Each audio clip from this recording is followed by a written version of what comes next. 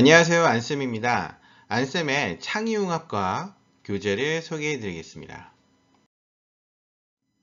최상위권 학생들을 위한 교과심화 교재인 안쌤의 창의융합과학 학기별 교재는 3학년부터 6학년까지 총 8권으로 구성되어 있습니다.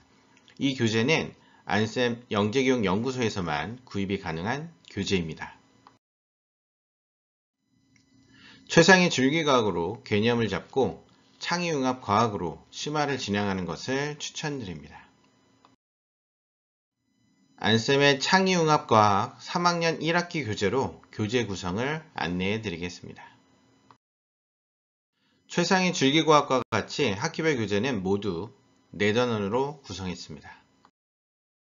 단원별로 다양한 유형의 문제들로 구성하여 어떤 문제 유형이 나와도 대비할 수 있도록 구성했습니다. 1단원 물질의 성질입니다. 첫 번째 문제 유형은 다답형 객관식입니다. 까다로운 보기 7개로 구성한 객관식을 10문제 수록했습니다. 개념과 함께 사고력을 확인할 수 있는 문제로 구성했습니다. 두 번째 문제 유형은 심화서술형입니다. 각종 기출문제를 분석해 교과서 안팎에 심도 있는 내용을 선별하여 서술형으로 답할 수 있도록 구성했습니다.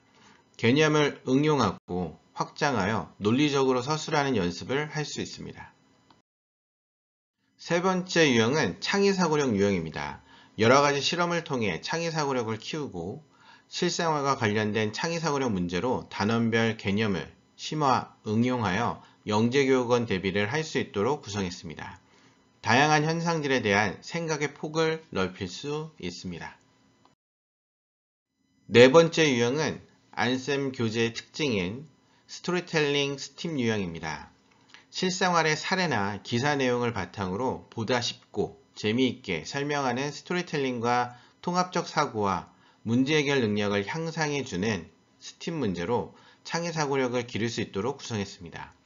페트병을 재활용하여 월드컵 축구선수의 유니폼을 만든다는 기사와 참고 영상을 QR코드를 통해 볼 수 있습니다. 다섯 번째 유형은 스팀 실험 탐구입니다. 주변에서 구입할 수 있는 실험 도구로 실험을 하면서 탐구 문제를 해결할 수 있도록 구성했습니다. 마지막 스팀 문제는 탐구 내용과 관련된 실생활 문제로 구성했습니다.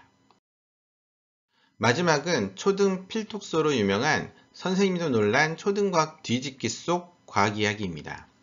단원과 관련된 초가디 추천 도서를 소개하고 과학 이야기를 발췌해서 생각해볼 문제로 구성했습니다.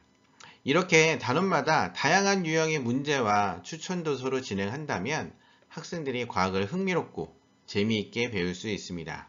이 교재를 적극 추천드립니다.